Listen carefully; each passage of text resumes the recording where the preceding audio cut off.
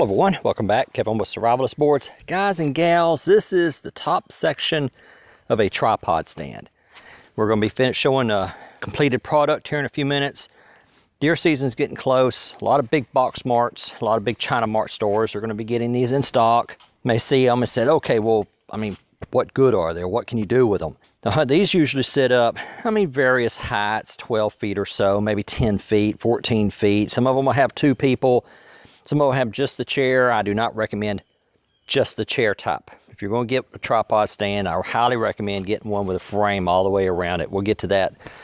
Well, you'll see why here in a few minutes. Not only providing a safety feature of hopefully stopping you from falling out of the stand, there's also some things that we can do with this.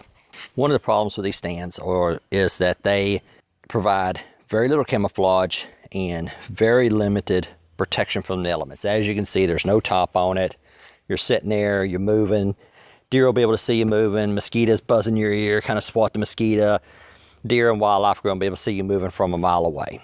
Unless you're like a bow hunter, very, very, very still. But there's some things that we can do to resolve that thing, to resolve that issue.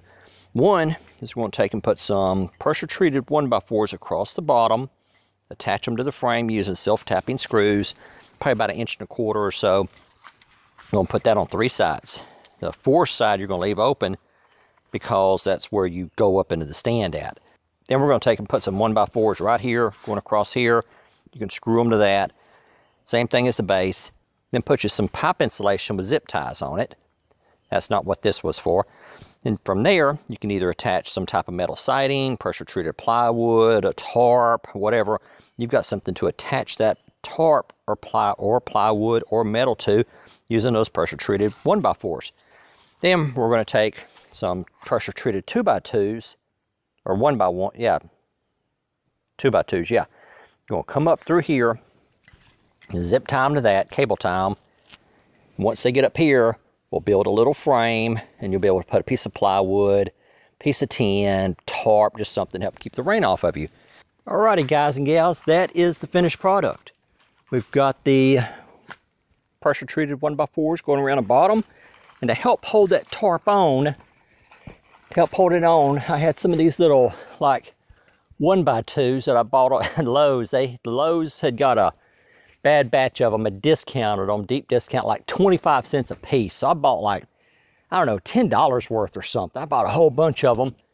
So we took those, put them around the bottom. Same, see the pipe insulation up there at the top for you to put your rifle on. Piece of plywood at the top.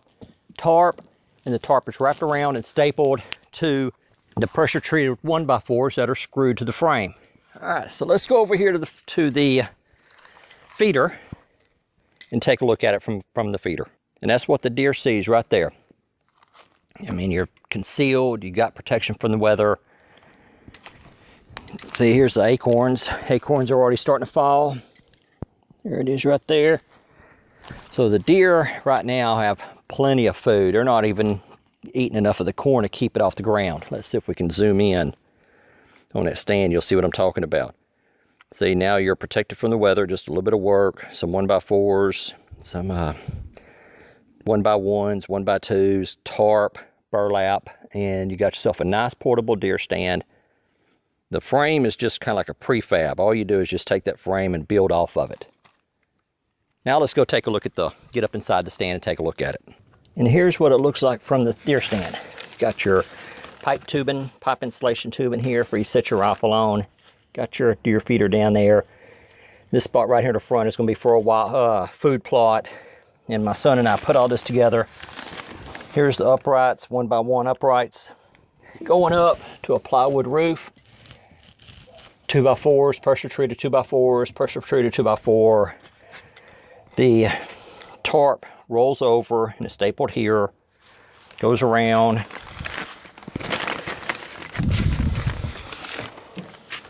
Pressure treated one by four, pressure treated one by four. So y'all get the idea. I mean, it's not that difficult, guys. It's not that difficult. I think these one by ones are about six feet tall. Uh, you could probably shrink that down a little bit. During the off season, wasp and stuff will get up in here and build a nest. But that's what it is, guys. There you go. That's my, taking a store-bought tripod deer stand and modifying it So you're out of weather a little bit. Deer won't be able to see you. You'll be able to come in here and make, make your movements, get your rifle ready, everything, even a pair of binoculars or whatever. Deer walking through here, stop. You're able to look at it, estimate the age, see if you want to harvest it. It sure beats taking an offhand shot as a deer is walking by in a split second. Okay, guys and gals, that's it for now. Hope y'all enjoyed the video, and I will talk to y'all later.